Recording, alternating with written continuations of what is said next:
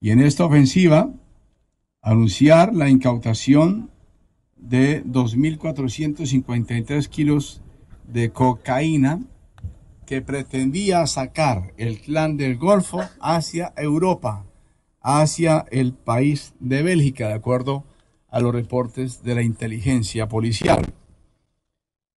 Mm, pretendía el clan del Golfo sacar este cargamento de carbón coque utilizando una mezcla dentro de, esta, de este elemento natural.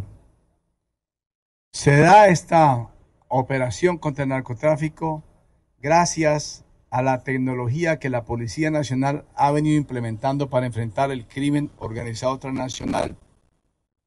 Saben ustedes que hace aproximadamente cinco meses inauguramos con el gobierno de los Estados Unidos el gran centro tecnológico para monitorear la carga que sale de los puertos de Colombia al mundo entero.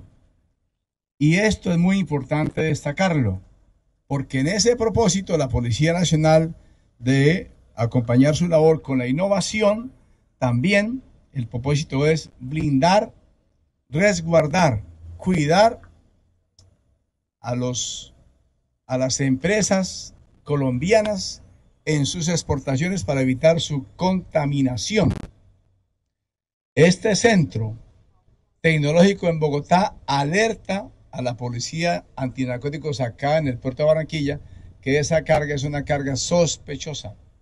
Hay unos parámetros y ellos capacitados y con base en esa sospecha alertan a la policía acá en el puerto de Barranquilla.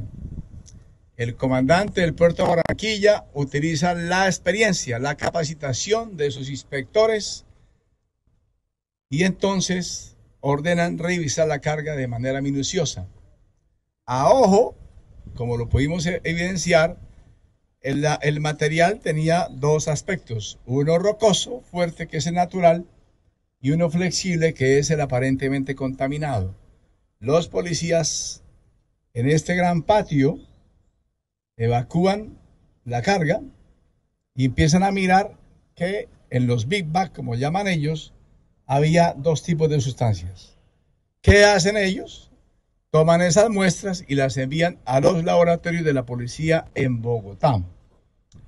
Los químicos y el personal experto, al final de una investigación minuciosa, les informan a ellos acá que la carga de carbón coque está contaminada, que al final permite establecer que esta contaminación estaría llegando a los 2.453 kilos de cocaína.